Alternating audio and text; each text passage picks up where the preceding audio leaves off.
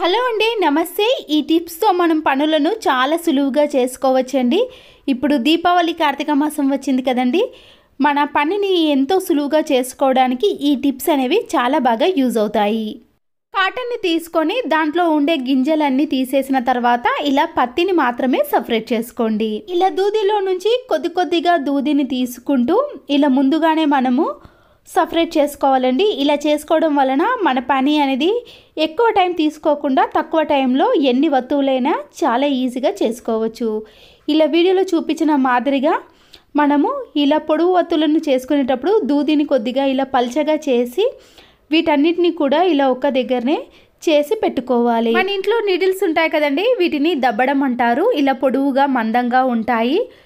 మనము పండగలకు కానీ ఫంక్షన్స్కి ఇలాంటి నీడిల్స్తో మనము పూలమాలను బంతి పూలమాలను అల్లుతారు. ఒకవేళ ఈ దబ్బడం లేనప్పుడు మీరు అగరబత్తితో కూడా చేసుకోవచ్చండి. అయితే నేను ఇక్కడ నిడిల్తో చేసి చూపిస్తున్నాను. ఇలా సాఫ్ట్గా ఉన్న దాంట్లో మాత్రం మనకి వత్తులు అనేది చేయరాదండి. చూసారు కదండి? అయితే వీటిని చేసే దగ్గర మనకి కొద్దిగా గరుకుగా ఉండాలండి.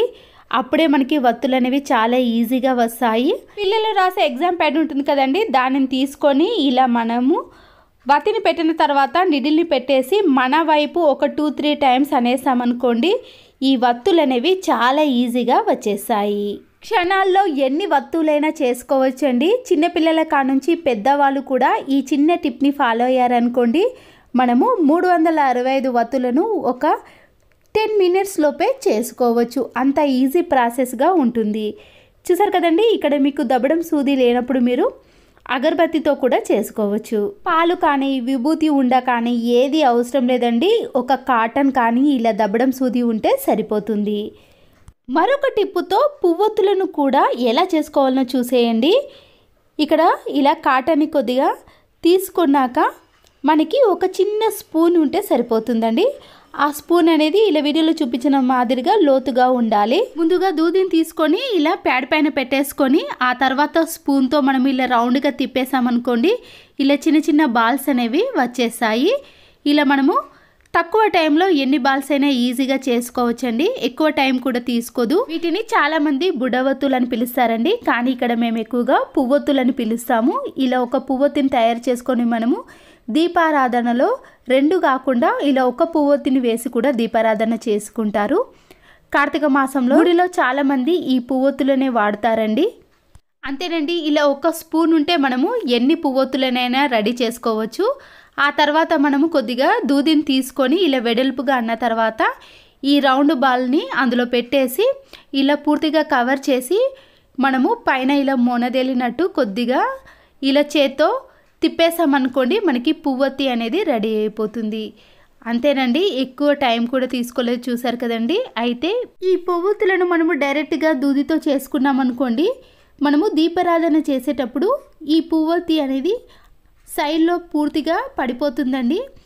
అలా పడిపోకుండా స్టిఫ్గా మనము దీపారాధన చేసేటప్పుడు నూనె పోసిన తర్వాత కూడా ఇది సైడ్లోకి పోకుండా ఉండాలంటే ఇలా మనం చిన్న బాల్ని చేసి అందులో పెట్టేసినాక ఇలా పువ్వొత్తిని తయారు చేసుకున్నాం అనుకోండి ఈ పువ్వొత్తి అనేది దీపారాధన చేసేటప్పుడు సైడ్లో అస్సలకే పడిపోదు.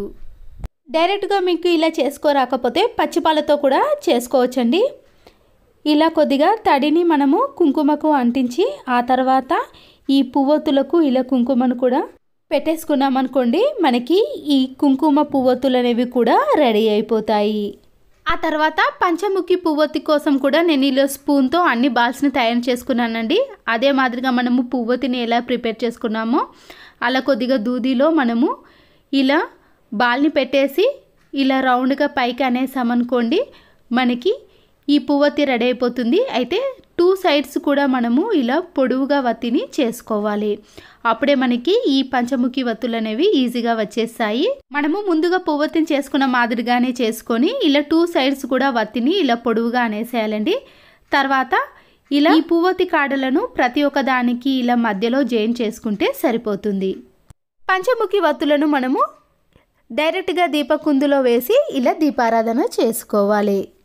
నిడిల్ని కానీ లేదా అగరబత్తిని తీసుకొని ఇలా దూదిని కొద్దిగా వెడల్పుగా అని దానిపైన మనము కాటన్ని పెట్టేసి ఇలా ముందుగా వత్తులను చేసుకున్నాం కదండి. అదే మాదిరిగా గట్టిగా తిప్పేసామనుకోండి ఇలా పొడవు వత్తులు అనేవి వచ్చేసాయి. అయితే అక్కడ దూదిని చాలా తక్కువగా తీసుకున్నాము. మనము ఇప్పుడు ప్రిపేర్ చేసుకునేది అఖండ వత్తి అండి. ఎందుకంటే ఈ అఖండ వత్తి అనేది చాలాసేపు వెలగాలి కాబట్టి ఇలా మందంగా చేసుకోవాలి. ఏదైనా గ్రేటర్కి ఇలా వత్తిని మనము ముడి కానీ లేదా ఇలా వత్తిని కింది భాగాన పెట్టేసి ఇలా గట్టిగా తిప్పేసామనుకోండి పూర్తిగా తిరుగుతుంది కాబట్టి వత్తి అనేది అలాగే ఉంటుంది. ఇలా రెండు వత్తులను కూడా ఒక దగ్గరనే వేసి ఇలా తిప్పేసిన తర్వాత వాటిని జైన్ చేసుకోవాలండి. అప్పుడు మనకి ఈజీగా ఇలా అఖండ వత్తి అనేది రెడీ అయిపోతుంది. ముందుగా విడివిడిగా ఉన్న వత్తులను ఇలా రౌండ్గా తిప్పేసిన తర్వాత మరొక వతిని కూడా ఇదే ప్లేస్లో పెట్టేసుకొని ఇలా రౌండ్గా తిప్పేసిన తర్వాత జైన్ చేసుకోవాలి. చాలామంది అఖండవతిని ఇలా చిన్న చిన్నగా చేసుకొని తర్వాత జైన్ చేసి అఖండవతిని తయారు చేశారు కదా. ఇలా మనము నేను ముందుగానే మందంగా పొడుగా చేసుకున్నాను కాబట్టి ఇక్కడ రెండు వత్తులను తీసుకొని ఇలా జాయిన్ చేశానండి. మీరు ఇంకా మందంగా కావాలనుకున్న వాళ్ళు కూడా ఇంకొక వత్తిని కూడా జాయిన్ చేసుకోవచ్చు. ఇలా సింపుల్గా మనము నిడిల్తో అలాగే స్పూన్తో గ్రేటర్తో మనము ఇలా పువ్వొత్తులను కాడవత్తులను అఖండవత్తిని కూడా చాలా సింపుల్గా చేసుకోవచ్చు.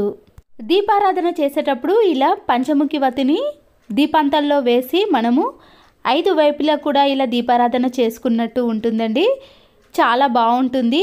మనము టెంపుల్లో కానీ ఇంట్లో కానీ ఇలా దీపారాధన ఈజీగా చేసుకోవచ్చు.